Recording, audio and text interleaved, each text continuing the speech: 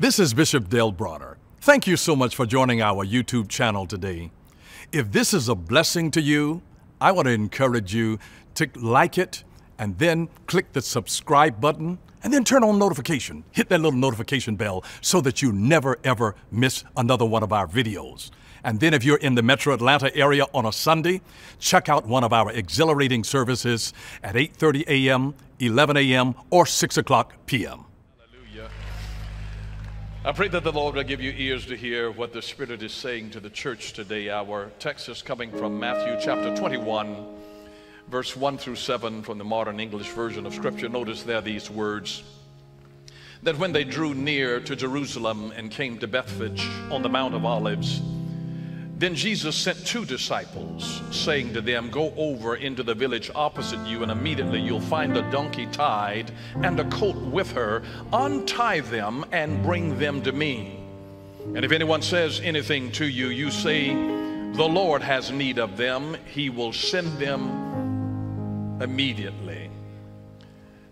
And this was done to fulfill what was spoken by the prophet, saying, Tell the daughter of Zion, Look, your king is coming to you humble and sitting on a donkey, on a colt, the foal of a donkey. The disciples went and did as Jesus commanded them, and they brought the donkey and the colt and laid their garments on them, and he sat on them.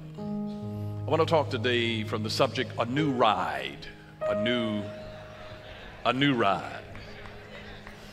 I mean everybody uh, has to have a, a ride. Uh, we've been riding for a long time. We didn't just start riding when we had automobiles. They were riding when they rode mules and donkeys, when they were riding cows and camels, when they were riding uh, horses. They, we've always found something to ride. We're going to hop on something's back to give us a better mode of, of transportation. We always had a ride, whether it was Noah who built an ark which was a boat, which is a ride on the water. God has always been able to provide a, a, a, ride for us so that it gives relief to our feet. And so, as we talk here about this new ride, I, I pray that God will give you spiritual ears because it's a prophetic message, and, and my notes are really sketchy. Uh, it, it is amazing here how uh, Jesus chose to ride on a colt. A, a, a colt is an uncastrated male donkey or horse. And it was a colt, it was a, it was a baby, it was one that had never been ridden. And Jesus said, I want you to go there and get the colt, get the thing that has never been ridden because I want to ride what has never been ridden before. I want a, I want a brand new ride. I, I want the new car smell. He was saying, I want a, a new ride because I'm, I'm going somewhere. But you might wonder why he didn't choose to ride on a horse. You know, I mean, when you're smelling yourself, you want, you want a stallion. But he didn't choose a horse. A horse uh, is a symbol of majesty. It is a symbol of power. It is a symbol of speed. And it is also a, a beast of war. And remember, Jesus is the Prince of Peace. So he didn't want to come on something that symbolized war. And he didn't want to come in, in that that symbolized majesty and power, though he is a king. He is a king, but he chose to come on a slow donkey something that was humble, that was down to earth. And it, it, it really highlighted who Jesus himself was because he chose to ride a young donkey that had never been ridden before, one that you got to break in. One that you've, you've got to train how to turn to the left and how to turn to the right. One who you have to train how to hear your voice because when Jesus chooses you, we don't automatically just know how to follow him in every little thing. He has to teach you how to follow his voice. But he wanted a, a young donkey that had never been ridden before.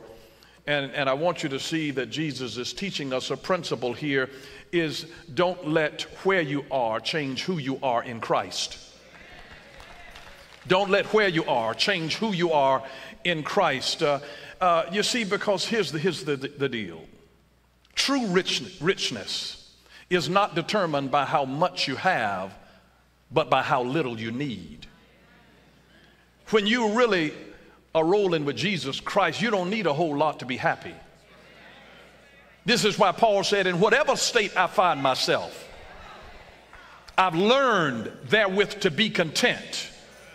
Uh, he said, I know how to abase, how to humble myself and get by on a little bit, and I know how to abound. That when I'm extended privilege and I got a, a stimulus check, I know how to big ball. I know how to order high on the menu. But he says, I also know how to how to roll when I don't have but five dollars and I'm trying to eat off the off the menu. I know how to roll in both circumstances. When you roll with Jesus, you got to be all right whether you can afford a steak uh, with lobster on top of it, or whether you you you gotta you gotta get something from Taco Bell,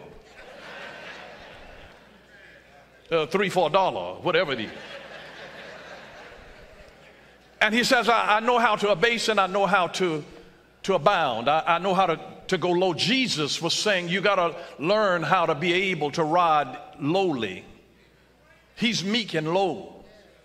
He didn't come riding on a high horse, he came on a, on a slow donkey.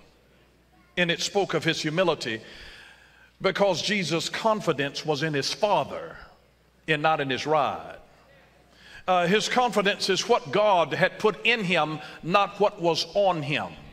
And it wasn't based even on uh, what he was on.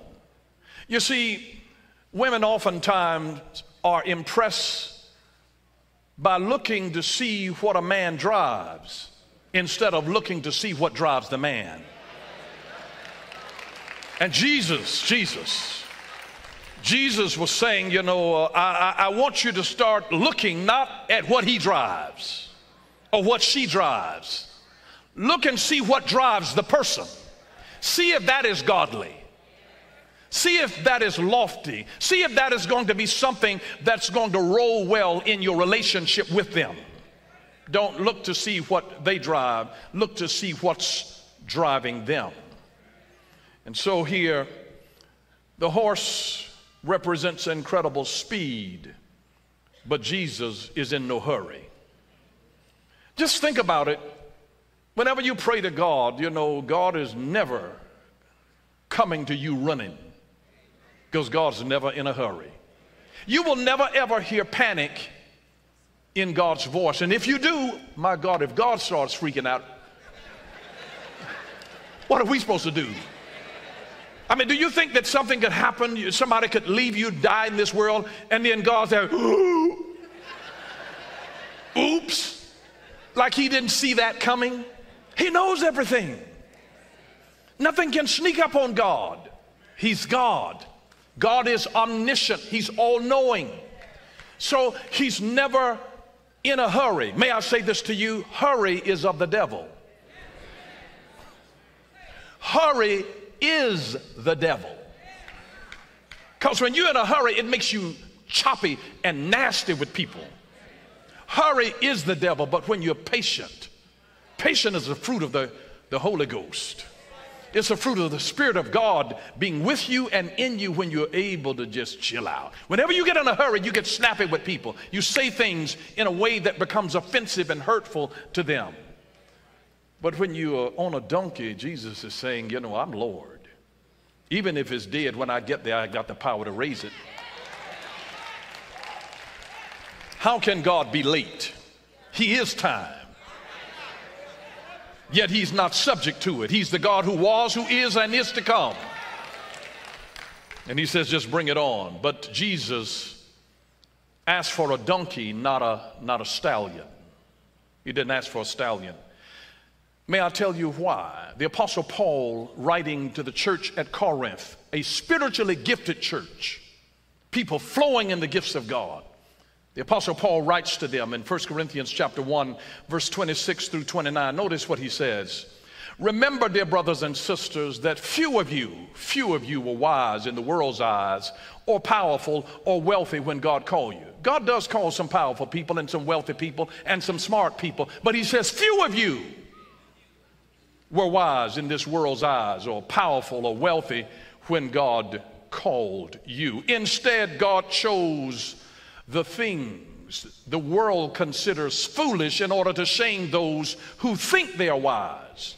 And he chose things that are powerless to shame those who are powerful.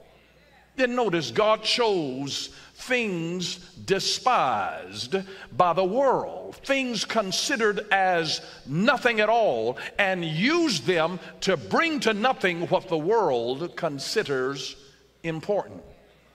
And then notice this as a result, no one can ever boast in the presence of God. No flesh can glory in his presence. God says, I want to be able to do this in such a way where they say, you know what, I know so and so's IQ. That was God. Have you ever had the glory of God to come on you and empower you to be able to do something? It's amazing. I see people scared to death, nervous, asking God, Jesus, please help me. Jesus, please help me. Jesus, please. And then when they come out there and God is with them, and, and, and I mean, and they just slam it. And then they may be like, yeah, yeah, yeah, I did it. Yeah, yeah. But God says, I want to be able to choose people who are in a low place and take them to a high place that they couldn't get by themselves. And people are going to know it is not your background. It's not who your mama and your daddy was. It's not where you went to school. They're gonna, you're going to know, God says, I'm, I'm, i want to be able to use them in such a way, bless them in such a way where they realize this is the Lord's doing. What God did for you, you can be trying to promote something, and God will give you free word of mouth advertisement in the mouths of people. I'm telling you, God can put your name on people's lips that you may not even know that will be promoting it is a part of the glory of God. And God is saying, I'm doing something on your behalf. I'm working. I'm a wind beneath your, your wings when you can't even see me coming. But I'm working in such a way that no flesh will be able to glory in God's presence and say, Hey, I did this. God wanted to say, I want to use them. I want to bring you into the positions. I want to put my favor on you where they know this is not about the frat that you are part of or the sorority, which school you went to, where you, who your hometown, who your mama was, who your daddy was, your brother, your sister, the amount of money that you had in the bank, what your stock portfolio looked like, how much cryptocurrency you own. God says, I want to be able to do something and move through you in such a divine and supernatural way where they realize this is only God. Because had Jesus ridden in on a horse, they would have sworn that his majesty was because of how regal the horse carried himself to where you just look like a king. But when you are confident in who you are, you don't have to fix up in order to be accepted. You ever see these really super rich dudes? You will not see them advertising Louis Vuitton and Cartier and all of this kind of stuff. They be in some jeans and a t-shirt.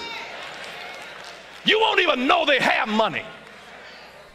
Because when you got something and you know you've got something, you don't have to prove it to anybody by your bling bling.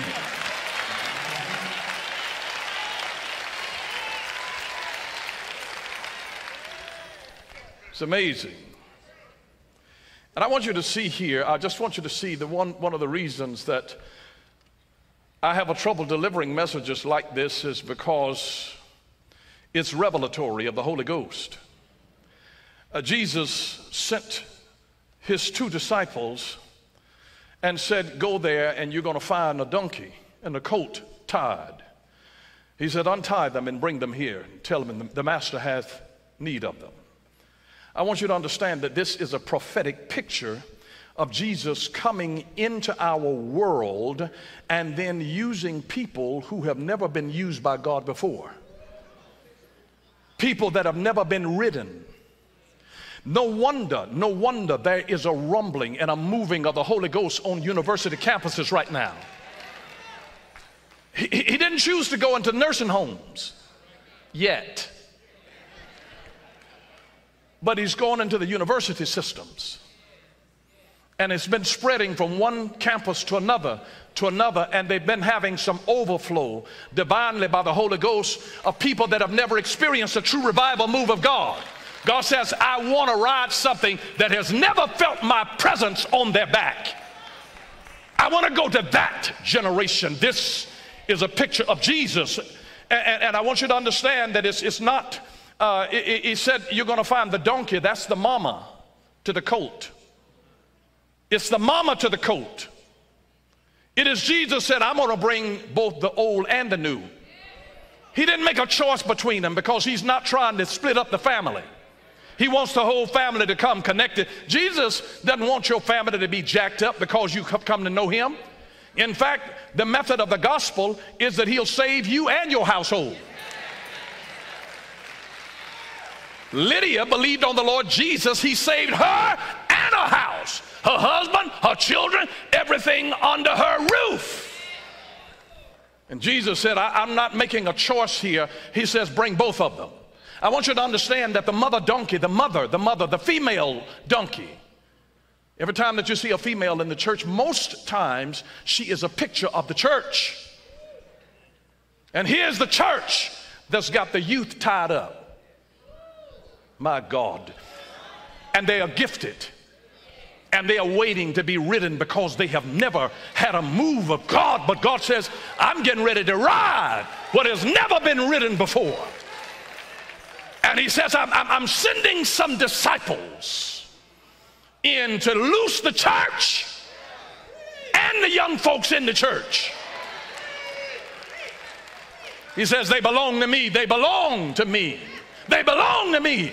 Every time that God has ever done a revolution in the earth, it always happens through young people.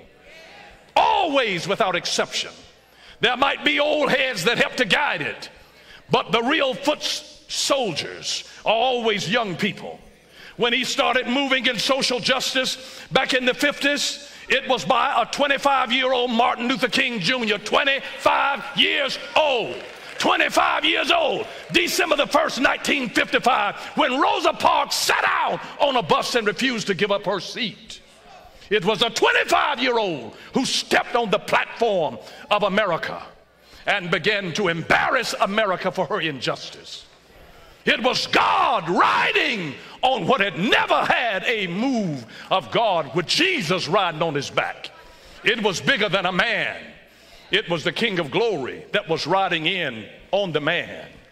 And I'm just here to remind you today that Jesus is ready to ride what has never been ridden before to put his spirit on it and to move through what has never ever been been written notice what he said in luke chapter 19 and verse 30 talking about the same thing. Go to the village ahead of you and as you enter it you'll find a colt tied there which no one has ever ridden. I want to ride what has not been ridden. He says untie it and bring it here Two things stand out about what Jesus chose to ride. Two things stand out about what Jesus chose to ride. Number one, it was bound and had to be loosed.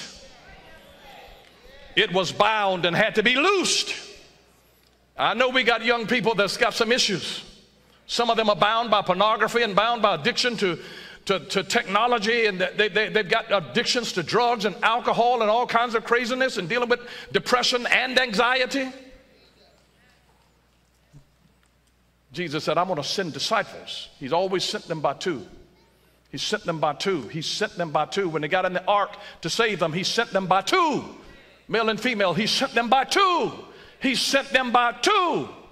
Over in Revelation, you find these dual witnesses that are coming, and, and, and, and, then one is slain in the street, and he always sent them by two. Two is the number of multiplication. He sent them by two, and he said, Both of you all go, go there, and you're going to find this colt. It's never been written before, but it's bound, but I need you to loose it. I don't want you to judge it, I want you to loose it. I don't want you to judge it, I want you to loose it. Now, you might wonder why is it that Jesus himself didn't go and loose the donkey? Why didn't he go? Because he gave power to us to go and to loose. When he was on the earth, I mean, he did the loosing. But then he turned to us and said, And these signs shall follow them that believe. They shall lay hands on the sick and they shall recover. They shall cast out devils. If they take up any deadly thing, it shall not hurt them. He said, This is your assignment. Jesus, when he was on the cross and he said, It is finished, it was finished for him. Now it's our turn. He's saying, Tag you it. You're a disciple, there are some folks that you got to loose. Jesus is not coming and doing it without you, He's going to do it through you. He's going to do it with you but he's going to do the loosing through you. And so I want you to see that they were bound. They were bound and, and had to be loosed or untied. Remember this principle you never cut what you have the power to untie. Never cut what you have the power to untie. Wouldn't it be crazy if you tied your tennis shoes and then every time you got ready to take them off, you took scissors and just went right down the front of them, just cut them, cut them loose in order to get out of them? Never cut what you have the power to un, untie. Jesus said, Go and untie them. Untie them. Untie them. Untie them. U N T I E. So that you can switch the letters around and U N I T E, unite. You can't unite a husband and a wife until you untie the issues. You, you, you can't become one with somebody when you got knots in you. He said, untie, untie, then you can unite. Untie, and then you unite. So Jesus uses disciples to go into loose bound people. Bound people. Jesus longs to ride people who've been bound.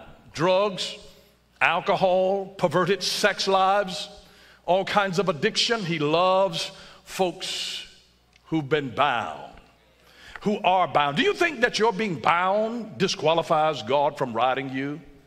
No, no, no. He says, no, no, no. Go, go to them, loose them, and let them know I want to ride them. Loose them and let them know the master. Listen, listen. He didn't say, I want them. He said, I need them. Tell them, if anybody asks you, tell them the master has need of you. Touch somebody say, Jesus needs you. Now, I know God knows we need Jesus. Now, that, that's not a question. That is not the question whether or not we need, we know we need Jesus, but Jesus needs us. He's not going to do it without us. He's looking for folks whose pasts are so jacked up, who are so messed up.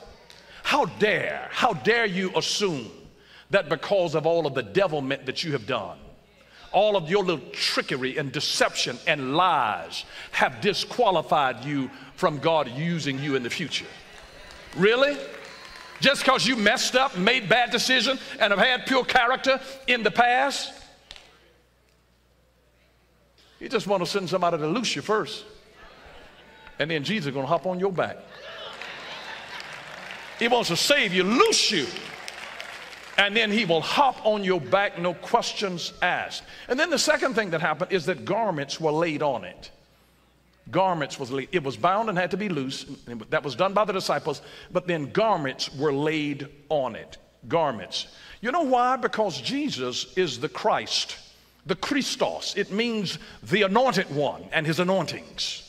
So here comes the anointed one and his anointings, and he's going to get on a donkey. But here's, here's the principle the reason that they had to throw cloths over the backs of the donkey is because Jesus never anoints flesh. He never anoints flesh. He never anoints flesh. What does he do with flesh? He puts blood on it. If you ever go back into the Old Testament, you'll discover the priests were informed. When, the, when, they took the priest and they got ready to deal with the priest they took blood the blood of, of, an animal and put it on the right ear of the priest the right thumb of the priest and the right big toe. They put blood on his flesh on the ear on the thumb on the big toe. So blood so you got a covenant with god now that you can hear right. Blood on the thumb so that the works of your hand so you can do right. And blood on the big toe so you can walk right he put blood there. You need blood to break the curse. The blood breaks the curse. The blood breaks the curse. I know your flesh has been jacked up and doing all kind of feel good kind of stuff. The blood of Jesus. You need the blood to deal with your flesh. You need the blood. The blood was shed for the sins of your flesh. But then the anointing, the only thing that the, that the anointing oil came on was the head, which was God's way of talking about divine headship and authority. Divine, ordained by God. The rest of all of the oil came on the beard, still headship representing maturity because boys don't grow beards. Maturity. God doesn't want to anoint something that is immature because it's egotistical. So he comes on maturity. And then it comes down to the garment and even to the skirts of the garment. All of the anointing oil drips on the garment. It is God's way of saying, I'll anoint the position, the office that I call you to. It's not about you. Don't you get the big head. I realize I am just a person here because when I'm gone, there'll be another person that God will anoint to stand in my place. It's His church. It is His church. And He anoints and calls whoever He wants to be here. And I'm just here as an interim pastor. It's just my season now. It's not anything that I did, it's what He did. It's His church. And He's the one that will change and put the oil not on the, on the flesh that dies, but on the garment. It is on the garment that they wear that carries the anointing because God doesn't anoint flesh. And that's why you can never assume that when you see a person anointing, anointed, that it is an endorsement of their character. Because he anoints the position because he wants to deliver his people.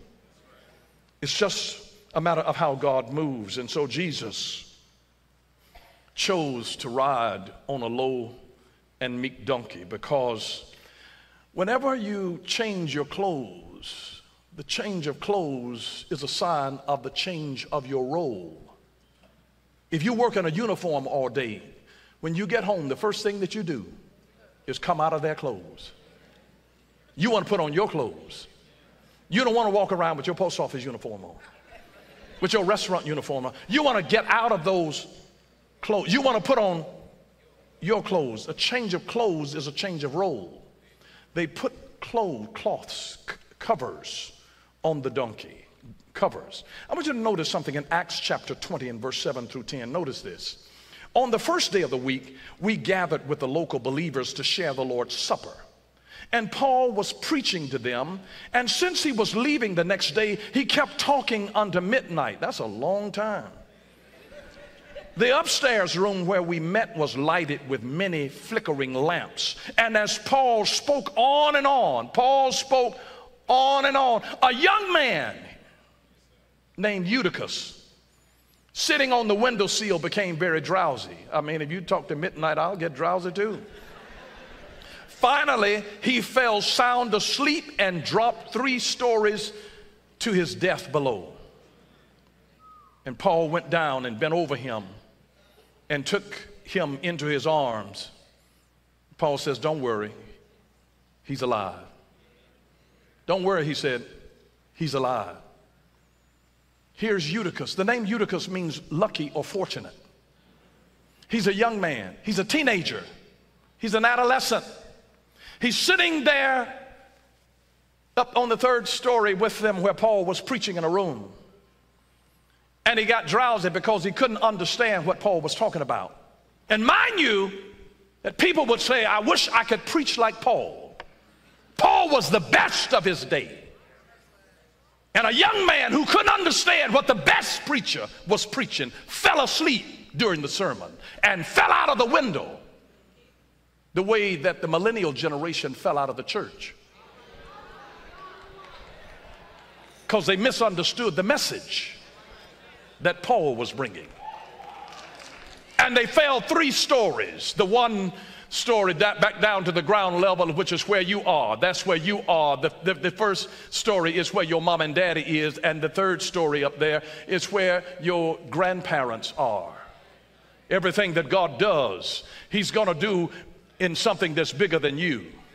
And He had to send somebody from the third floor to come back down to the first floor to pick him up and he says, He's all right. He's going to be all right. And a miracle ensued because God will confirm the word, even though you don't understand it, but He'll confirm it with signs and wonders following. And Eutychus, Eutychus is a type of uh, a generation that fell out of the church in disfavor with the church in their eyes and fell out. They got drowsy, fell asleep, and then fell out of the church. And Paul now comes down, takes him up in his arm, not in judgment, but in compassion. Says, Come on back home, come on, come back with us. And there he came back and he went upstairs. They went back up to the third floor, not the first and second. He went back to the top floor and they took communion. And I'm telling you, this is a time now to connect, to commune, and to communicate. This is a time where God is saying, I want you to come. This is where you don't understand uh, that uh, this, is, this is a Jacob that's not understanding what Isaac represented and what Abraham uh, uh represented.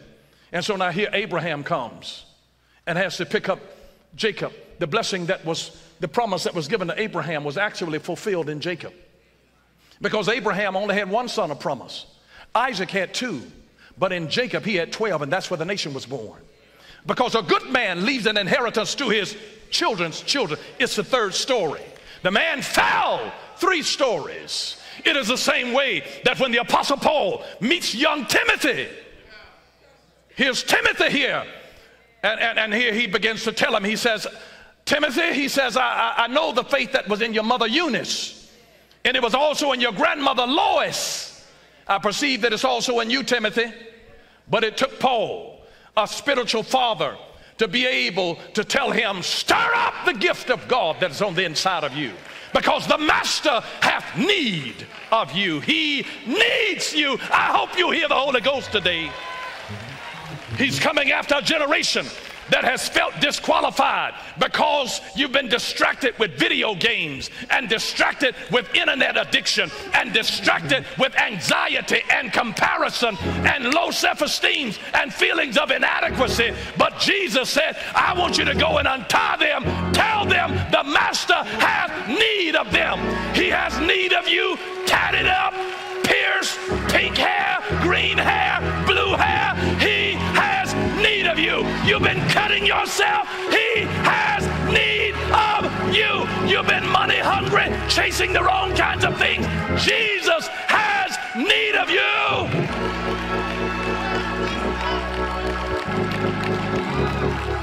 Touch somebody, say, let him ride, let him ride, let him ride.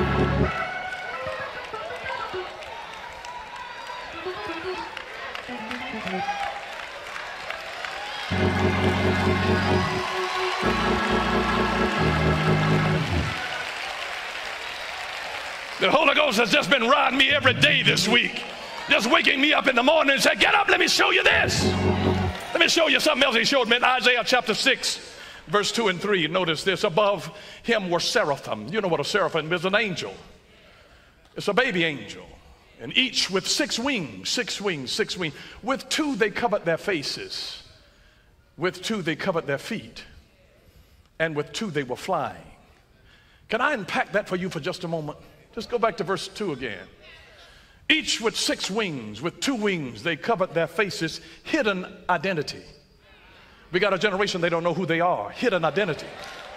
But you're an angel and you don't even know it.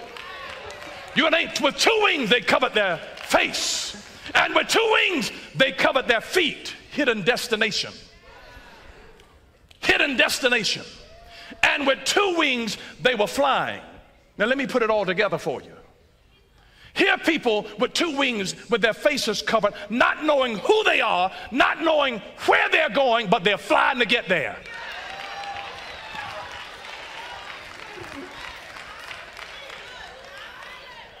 And notice, notice verse 3, notice verse 3, and they were calling to one another. When you don't know what else to do, just call to one another, holy, holy, holy is the Lord God Almighty. The whole earth the whole earth, the whole earth is full, the terra firma is full of his glory. It is full of his glory. He says, declare it before you see it. You release glory out of your mouth. Begin to declare it. The glory is in my house. Glory is in my children. Glory is in my school system. Glory is in my neighborhood. Glory is in my apartment complex. Glory is in my department on the job. Glory. Release the glory. You're carriers of the glory. Your glory producers. Open your mouth and give God the glory.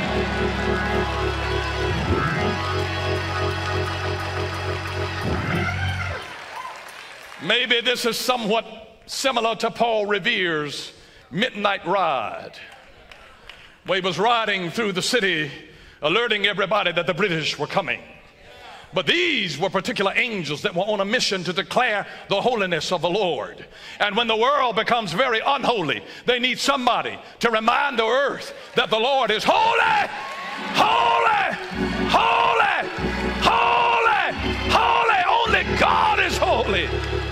God is holy. Only God, only God is holy.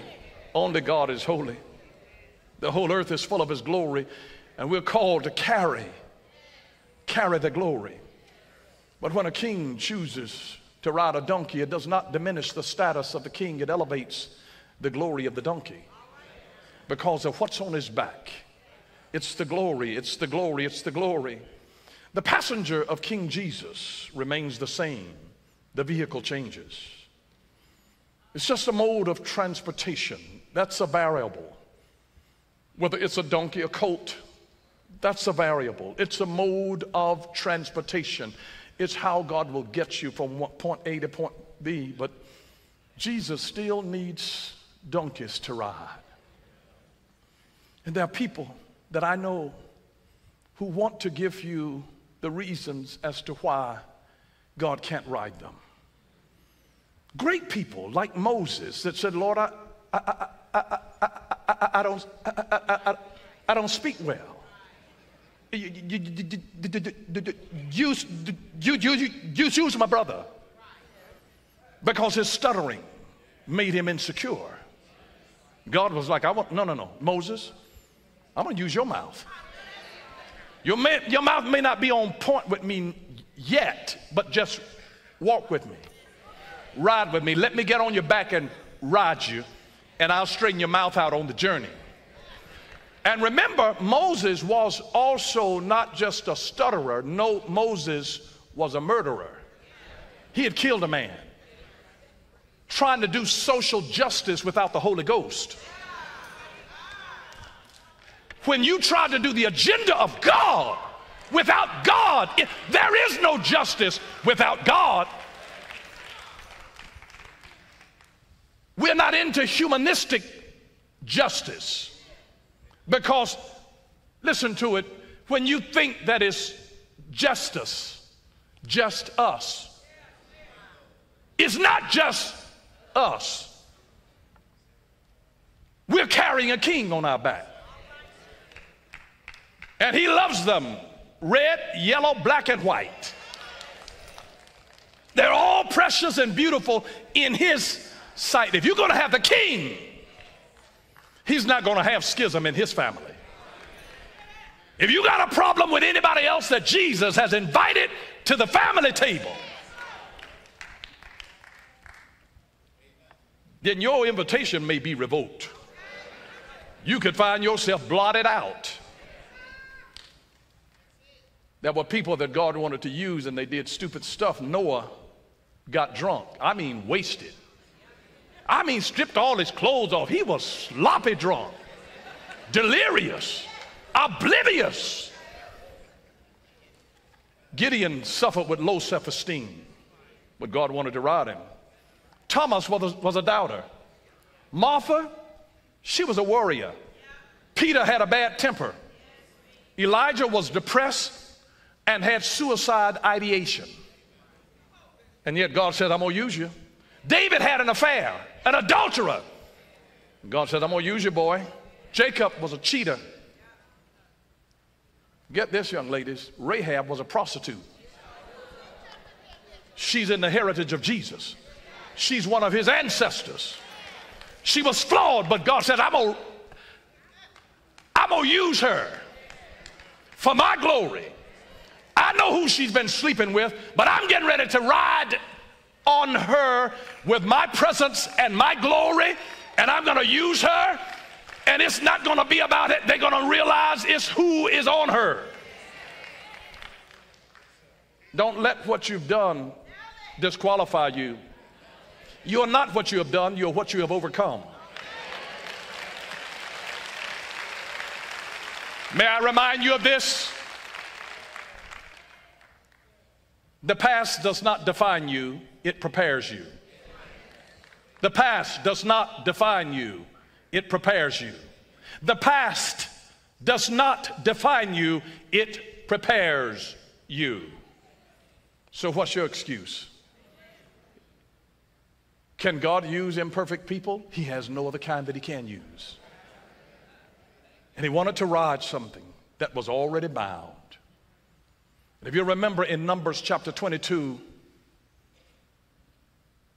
Balaam the prophet is riding on a donkey. And the donkey starts talking to him because God is talking to him through a donkey. Now, if God could speak through a literal donkey, you see where I'm going? Can he not speak through speak through you? You may not feel like a stallion, but Jesus didn't choose a stallion. He chose the low donkey. And he'll ride a colt. It's a new generation that has never experienced a revival move of the Holy Ghost. They've never experienced Jesus on their back, and now He's putting a hunger in their belly. If you'll get a hunger in your belly, He'll ride your back. And Jesus asked for both the donkey and the colt. He asked for the mother and the child. It wasn't one or the other. He asked for both. And I'm telling you, the mother here is a picture of the church. And he says, I want both of you. I want the church with its young people, its evangelistic force being turned loosed. Jesus started rotting me when I was 14 years old. 14. And when he rode me, he rode right into my high school of 2,000 students where I proclaimed the gospel to all 2,000 of those students for the rest of the time that I was there he was riding a 14 year old, a 14 year old who had never been ridden before. He came down to ride a 14 year old. And during those teenage years, I was teaching in three separate Bible studies in three separate locations and going to a prison with 2,000 inmates every single month and going to four different nursing homes, riding on the back of a teenager.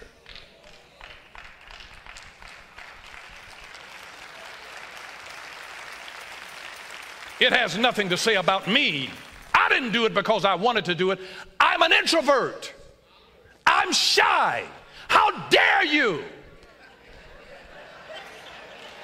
Rod me and make me uncomfortable to get in front of people, and I'm shy and introverted. But for your glory, Lord, you have such an amazing sense of humor. It's for your glory. And by the way, when you're an introvert and when you're shy, you never fully grow out of it. I will go places and speak to thousands. And as soon as I'm finished, I'm back in my room because I recharge in solitude. I'm an introvert. For real, for real.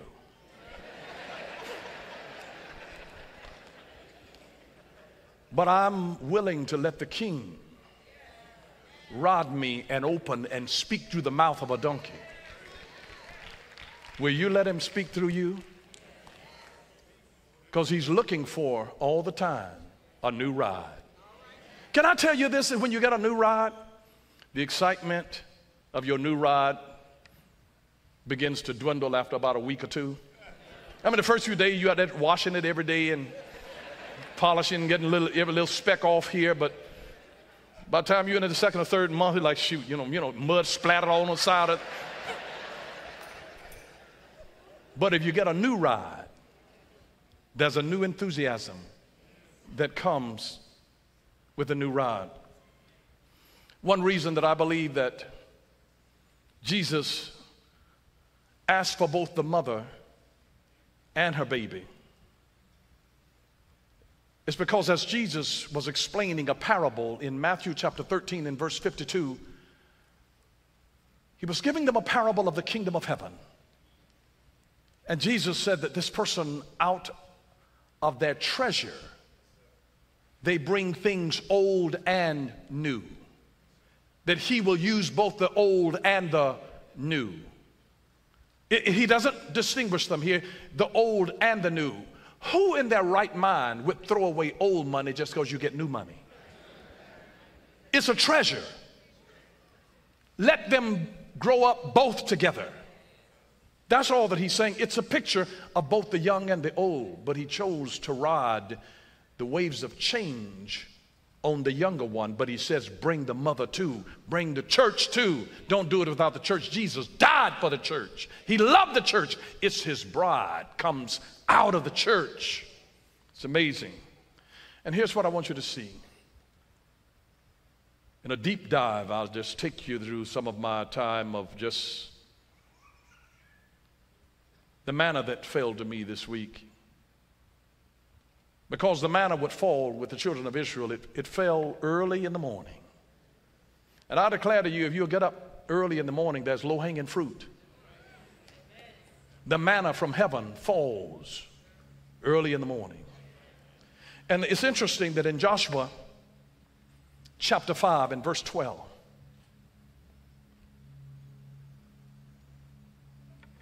it uses these simple words and the manna ceased. And the manna ceased. Do you know why the manna stopped? It stopped because, you know, the children of Israel had been a transient people. They were nomads. They had been walking for 40 years in the wilderness. So they walked so that everybody over 20 years old died in the wilderness. So there was a whole generation of desert babies. Are you listening? Who were 20 and under that had been born in the wilderness. And all of the old folks that had been in Egypt, they walked until all of them died so that he could take a new generation in. But when they got right to the border of the land of Canaan, the scripture says, and the manna ceased. It was how this that generation had been fed their whole lives by manna. But now he brought them to establish them in a land and to give them a land, and so they had to become now not a transient people, but an agricultural people. And the reason that I believe that he let the mother come with the with the baby, the mama donkey now coming with her coat her baby male donkey is because all that the baby donkey had known was manna. But the church had known what it was to be planted in a place and have to plant, till the soil, sow the seed, and water. They didn't know the process. And the only reason that he brings the old with the young is because the young have lived on manna, everything provided for them. But he wanted somebody who has been tilling the soil. Are you listening? And sowing the seed and being faithful to water when nothing was spectacular. To teach them the process and to show them the ropes. We call that discipleship. And he's bringing them into a picture of discipleship to say, You've been in my house and I've been paying all the bills and, and you've been leaving the lights on and the water dripping. And you've been throwing away stuff out of the refrigerator before it was fully finished.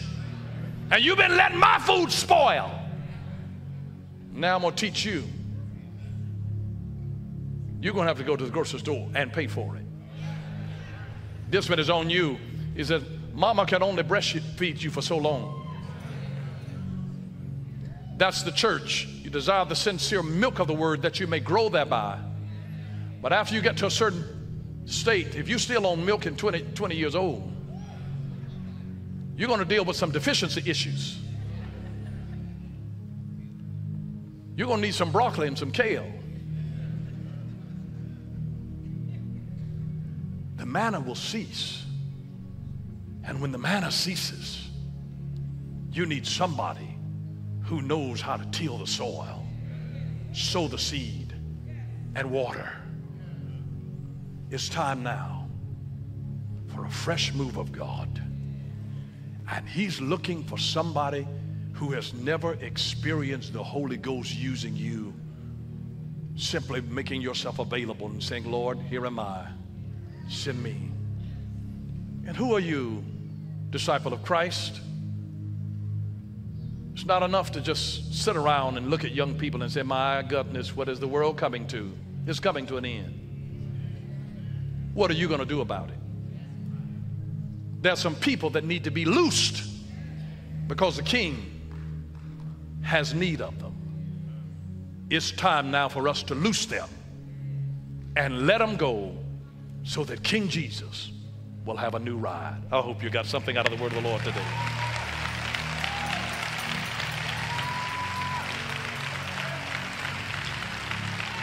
Hallelujah, hallelujah to the Lamb. While we're here, before we leave today, I want to ask you if you're under 30 years old to meet me here at the altar. I just want to pray a closing prayer. If you're under 30, you know why? Because in Jewish culture, in Jewish culture, in Jewish culture, you, you were not a full adult until you were 30 years old. Jesus wants to ride you.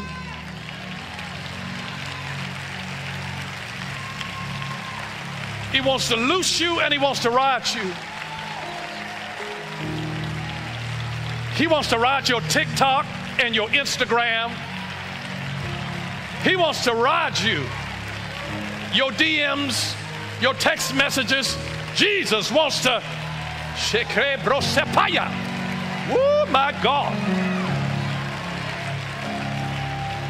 I didn't even know y'all could get up this early. I didn't know you up this early.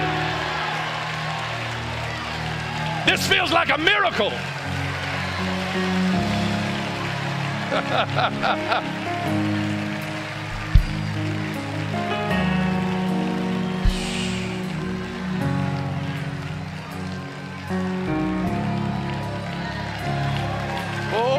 glory, glory, glory, glory, glory, glory.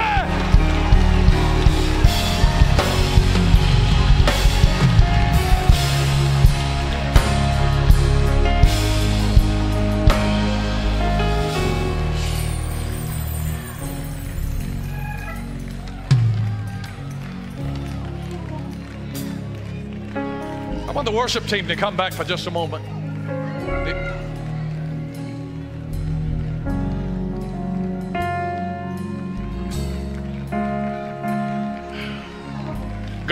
To something. That's all that I can tell you.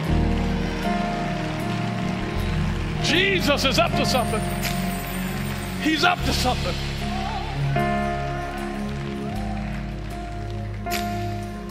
I'm a watchman on the wall. I know what time it is. I'm not guessing the time. I'm declaring to you in the name of Jesus, it's your time. It's your season.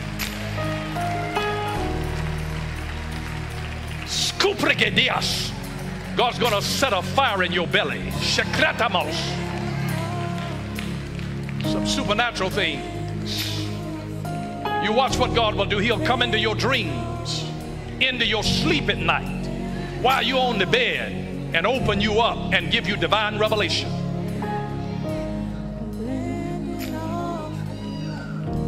Just sing a little bit of that. Now just open your heart. Just talk to Jesus right now before we pray.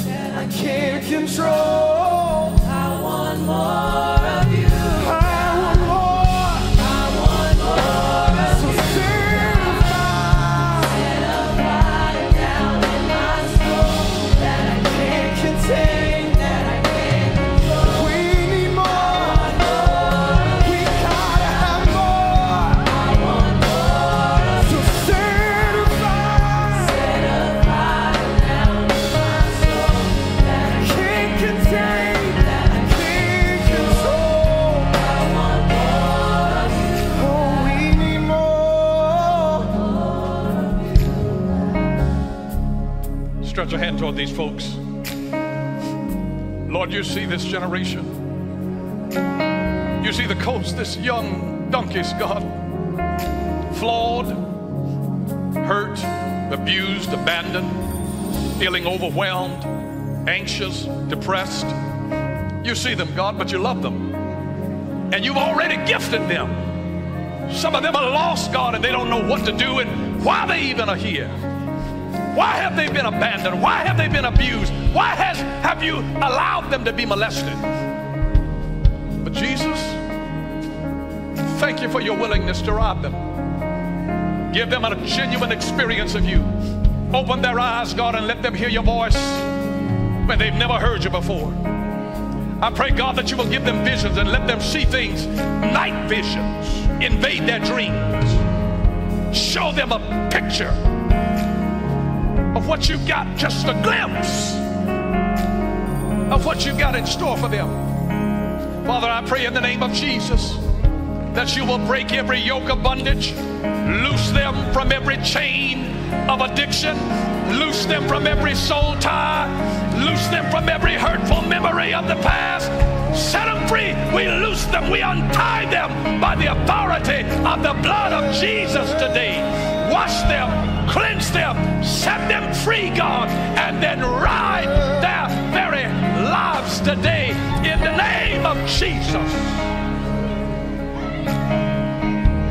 Lord, wash it. Forgive, God, even their involvement in the occult and in the demonic. Forgive us, God, for our ignorance of dabbling in things that had no resemblance of you. God, now and anoint afresh in the lives of each of these and show them the territory around them as their harvest field. Open their eyes, God, that they might be able to see where you want to take them. With two wings, God, they will unveil their faces, God, and two wings unveiling the destiny of their feet, and two wings, God, that you propelled them to be able to go faster than what they could have gone in their own strength. May this be a supernatural. I pray, God, that you will allow them to be a part of that generation. We decree in the name of Jesus that this Alpha generation, that this Gen Z generation, God, that for your glory, for your glory, for your glory, God, that you will breathe on them, move through them, ride them, God, and mature them with a heart, God, to be discipled, to be able to plant and to water and to reap for your glory.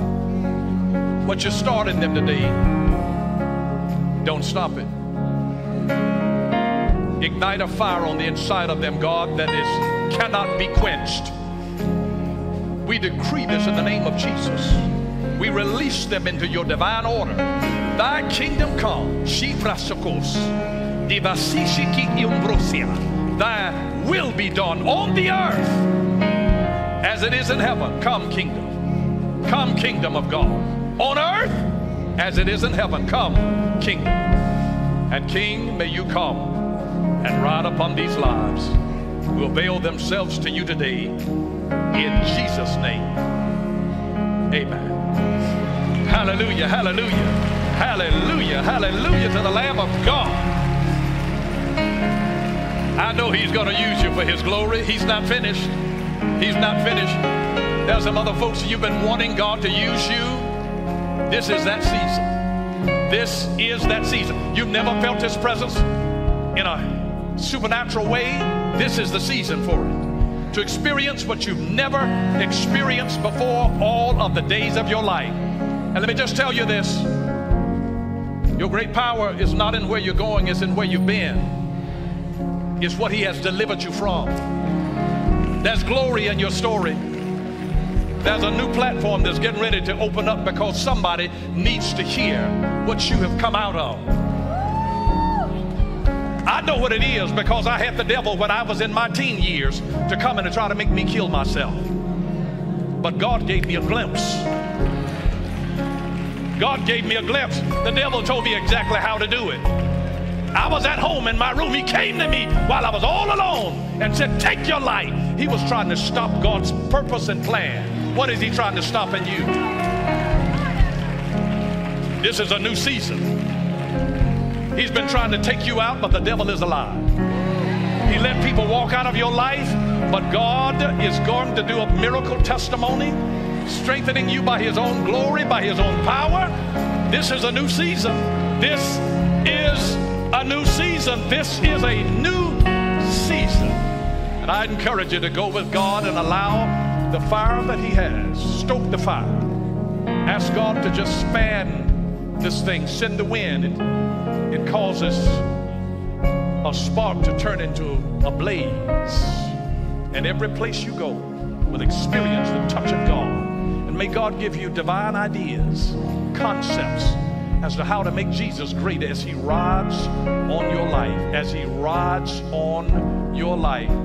We hope that you enjoyed that message. Don't forget to like and subscribe and then press the notification bell so that you don't miss another one of our videos. And if you want to partner with us, click the Give Now button. Thank you for what you do.